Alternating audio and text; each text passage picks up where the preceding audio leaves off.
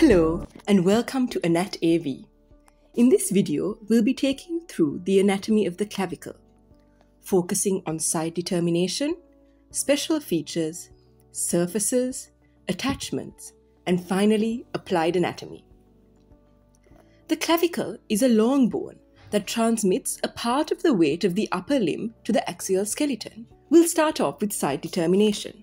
To orient the clavicle properly, one needs to distinguish between the medial and lateral ends and the superior and inferior surfaces. This will also help you figure out if it's a left or right clavicle. The lateral end is flat, and the medial end is large and quadrilateral. The medial three fifths of the shaft is cylindrical, while the lateral two fifths are flattened.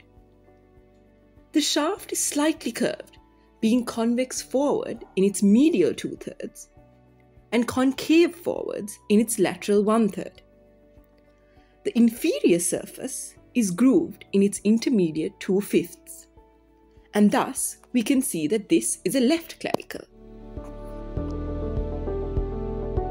The clavicle has a number of unique features. For one, it is the only long bone that lies horizontally. It is also subcutaneous throughout and can therefore be palpated along its whole length. It's the first bone to start ossifying. It ossifies in membrane and has two primary centers of ossification, while the ends ossify in cartilage.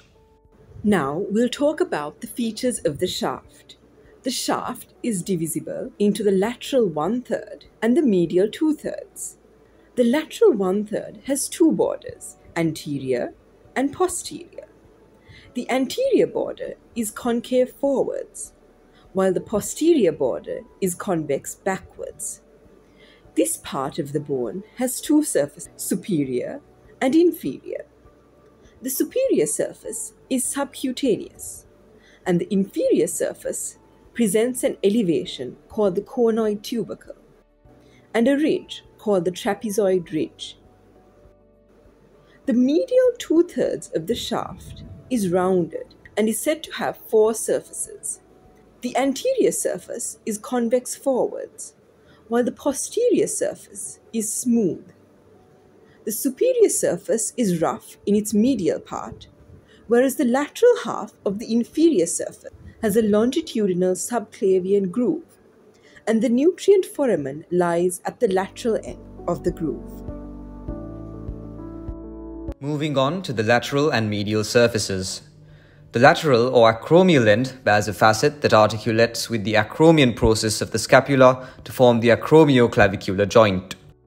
The medial or sternal end is quadrangular and articulates with the clavicular notch of the manubrium sterni to form the sternoclavicular joint.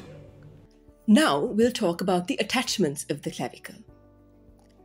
At the lateral end, the margin of the articular surface for the acromioclavicular joint gives attachment to the joint capsule.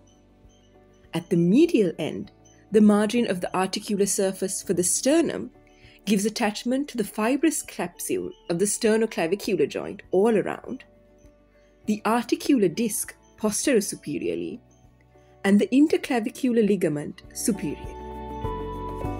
Considering the attachments of the lateral one third of the shaft, the anterior border is attached to the deltoid. The posterior border provides attachment to the trapezius. The conoid tubercle and trapezoid ridge give attachment to the conoid and trapezoid parts of the coracoclavicular ligament. Moving on to the medial two thirds of the shaft, most of the anterior surface gives attachment to the clavicular head of the pectoralis major. The medial half of the rough superior surface is attached to the clavicular head of the sternocleidomastoid. The oval impression on the inferior surface at the medial end gives attachment to the costoclavicular ligament. The subclavian groove gives attachment to the subclavius muscle. The posterior surface is largely devoid of attachments except at its medial end where the sternohyoid muscle is attached. Now we'll take a look at the applied anatomy of the clavicle. The clavicle is commonly fractured by falling on an outstretched hand. The most common site of fracture is the junction between the lateral one third and the medial two thirds, where the two curvatures of the bone meet, and this is the weakest point of the bone. The lateral fragment is displaced downwards by the weight of the upper limb, as the trapezius muscle alone is unable to support its weight. In the congenital anomaly called cleidocranial dysostosis, children are born without the clavicles or with hypoplastic clavicles, as shown in the picture. And that's a wrap of the anatomy of the clavicle video. Be sure to like and subscribe if you found this video useful and leave a comment down below and share with your friends. See you on the next episode where we talk about the scapula. Thank you for watching Anat AV.